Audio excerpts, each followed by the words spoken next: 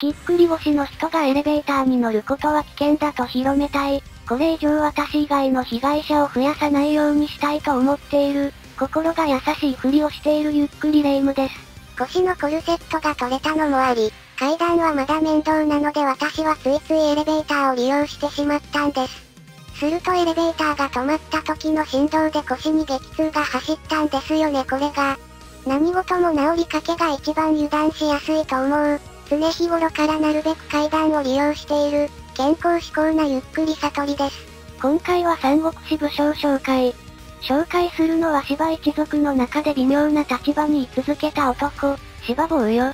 彼は義の四代目皇帝である僧帽から寵愛を受けている人物なのよね。僧帽といえば芝生の戦王に耐えきれずに挙兵をした人物ですよね。そんな人が芝一族である芝坊を重用していたんですかさて改めて紹介する人物は芝坊、あざなお師匠。父親が義の中心であり自身も皇帝の側近だったものの、時代の流れに逆らわずに重帝の芝氏、芝将らに忠誠を尽くし続けた真の重鎮。彼は一体どういった人物なんですか？芝坊は司令課大軍恩県出身の人物で、芝居の弟である芝生の次男だと言われている人物よ。そしてどういう経緯かわからないけど彼は家を出て叔父である芝郎の家を継いだようね。温厚で父親と似た風格を持っていた芝坊は後に軍の上経理に任命され、高連にも推挙されて首都園に任命されたみたい。それからも彼は出世を続けて平洋大衆、落葉天皇中老将といった官職を歴任していったようね。芝坊は芝郎の後継ぎに任命されたわけですか。それだけ芝坊は善と有望な若者だったということなのかな。251年、芝居が自分に反旗を翻した横領を討伐に出陣すると芝坊もこれに同行し、芝坊はこの戦いで功績を立てて永安抵抗に報じられた。後に芝坊は五軍将軍に任命されて新たに安楽合行にも報じられ、三期常時にも任命されて出世街道を歩いていたみたいね。しかも義の皇帝である僧帽は才能のある人物をとても好んでおり敗衆、王神、紹介らと共に芝坊は僧帽からの寵愛を受け、しばしば彼らと飲み会や文論作りをしていたみたい。この僧帽が寵愛している4人は全員が全員何かしらの才を持っており、僧帽は敗衆のことを樹林上人と呼び、王神のことを分析先生と呼んでいたようで後世には伝わっていないものの、芝坊と紹介にもそれぞれ呼び名が与えられていたようね。僧帽は皇帝の自分をないがしろにして権力を握っている芝一族を嫌っていたのに芝坊を重用していたのがちょっと面白いわ。まあ彼の父親である芝生がずっと義の中心として義を支えてきてくれたから彼の息子である芝坊を信用していたのかな。それ抜きにしても僧帽は才能ある人材を好んでいます。偶然才能を持っている人材が芝一族だったってだけの可能性もあり得ますね。時に僧帽はとてもせっかちな性格をしており、自分が進化たちを呼び出したら彼らが1秒でも早く自分の元に来ることを望んでいた。敗衆たちは宮中の職についていたのですぐに僧帽の元に来れたものの、芝坊は中国軍として外にいたため呼び出してもすぐには来れなかった。なので総合は追放者と古本兵5人を芝坊に与えたみたい。故に芝坊は集会があるたびに与えられた車で脱出しながら急いでこれに参加していたようね。芝坊は時の皇帝からの寵愛を受けています。もはや彼の出世と将来は約束されたようなものですね。芝坊はそんな楽観的な性格をしていなかった。逆に彼は僧帽から寵愛を受けることを怖がっていたまであるわ。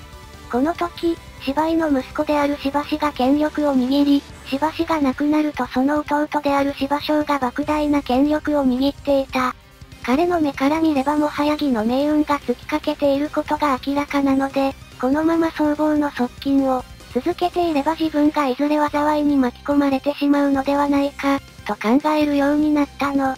だからしばしばし馬坊は中央から外に出ることを望み、ついに正々将軍、自説、都督要領に収書軍事に任命されて外に逃げ出すことに成功したみたい。芝郎の家を継ぎ、芝氏や芝将らが手出しできない芝生の息子で、ありながら同族である彼ら兄弟を恐れているのが少し面白いわ。芝坊の父親である芝不和義の中心でありながら、兄の芝居や芝一族を助け続けた人物です。芝氏や芝生も彼には手出しができないでしょうが、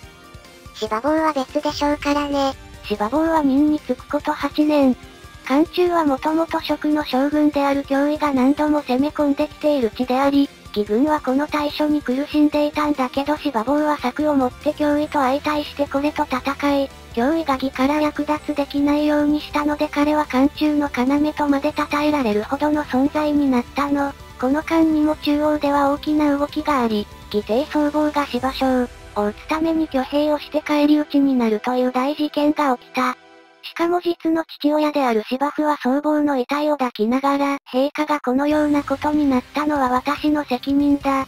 とか言って号泣し出すし、生地僧帽から寵愛を受けていた芝坊も早めに外に逃げておいてよかったわね。もし中央に残っていたとしたら父親に、合わせる顔がないでしょうからね。この時、芝坊と一緒に僧帽からの寵愛を受けていた王神は僧帽を裏切って芝将にこの計画を全て話したんですよね。